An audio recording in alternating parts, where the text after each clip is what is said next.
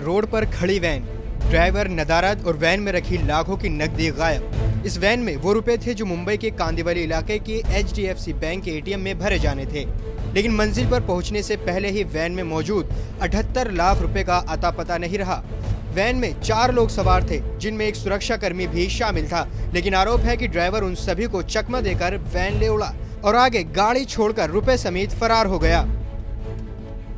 गाड़ी के अंदर देख सकते हैं कि एक सिक्योरिटी गार्ड की एक बंदूक भी रखी हुई है और इस इस गाड़ी के साथ एक स्टाफ जो था, इसके साथ था बैंक का और दो सुरक्षा कर्मी जो साथ थे। लेकिन इन सभी को उसने आ, उसने किसी बहाने से उनको यहाँ से निकाला और वहाँ से निकालने के बाद बैंक से सीधे ये गाड़ी लेकर के फरार हो गया।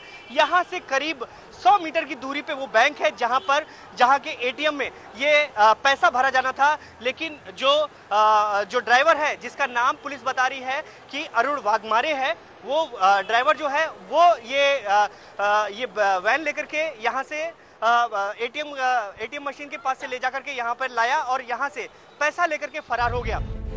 पुलिस इस मामले में छानबीन कर ये पता लगाने की कोशिश कर रही है कि आरोपी ड्राइवर अरुण वाघमारे का कैसा रिकॉर्ड रहा है।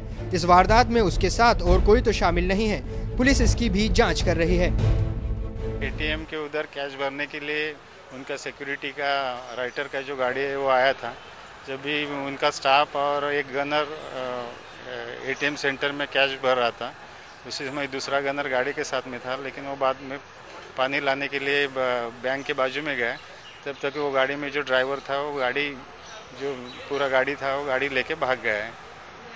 गाड़ी में सेवेंटी एट लैक्स रुपये थे। वो बाद में गाड़ी लेके जाके, गाड़ी आगे लेके जाके एमजी रोड के ऊपर गाड़ी छोड़ दिया है और उसमें से कैश लेके भाग गए हालाँकि अभी तक पुलिस को कोई खास सुराग हासिल नहीं हुआ है।